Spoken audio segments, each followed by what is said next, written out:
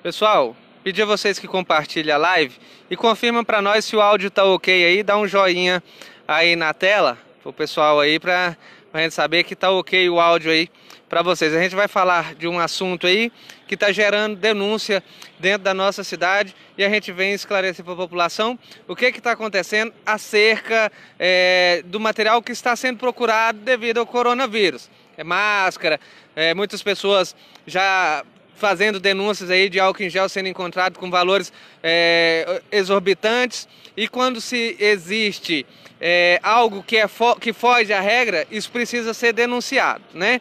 Então confirma para nós o áudio tá ok, tá beleza?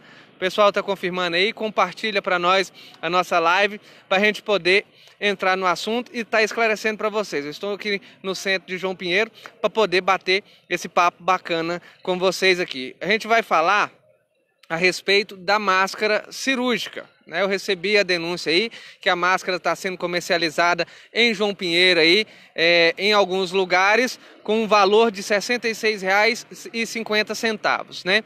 Estou esclarecendo aqui, procurei para saber se é as farmácias que estão fazendo isso e nos foi passado o seguinte, que o material ele está sendo, ele está chegando à farmácia com um valor muito alto e que as farmácias elas ganham aí de 15 a 40% sobre o produto. O que que acontece? A máscara, você comprava ela aí a, a 7,10. Esse era o valor normal, valor dela encontrado no mercado, né? Hoje, encontrando ela a R$ 66,50 e já está em falta, porque já estão encerrando os estoques. E me foi passado que o valor dela para a farmácia adquirir junto à distribuidora, eles vão estar tá pe pegando esse produto já a 200 reais aproximadamente. Então, o que, que acontece?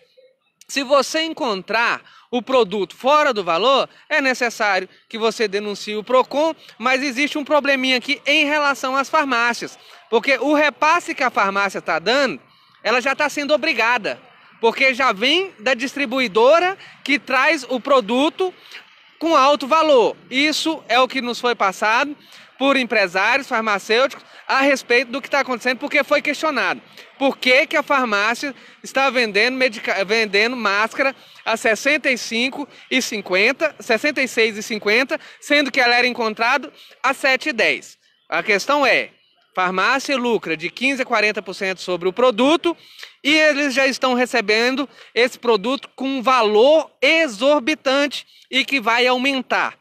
As farmácias, algumas já estão se recusando a pegar o produto, porque isso gera processos junto ao PROCON, porque o, cliente vai chegar para adquirir a mercadoria e vai entender que essa mercadoria está superfaturada e vindo com um preço ao qual você não consegue pagar. Então, muitas farmácias vão, não vão querer adquirir para evitar problemas e devido ao alto custo. Então a gente vai estar buscando mais informações e trazendo para vocês a respeito de como que está a questão de comércio a respeito de é, da questão do álcool em gel e a respeito das máscaras, né? Se você se sentir lesado por algum comércio, procure o Procon e faça denúncia. É necessário, porque você precisa se proteger e a gente não pode deixar que às vezes o empresário, a pessoa de má fé, se aproveite disso. Então, eu estou esclarecendo aqui em nome né, das farmácias de João Pinheiro aí, falando em nome né, da, da farmácia pinheirense, que eu procurei a farmácia pinheirense para me esclarecer,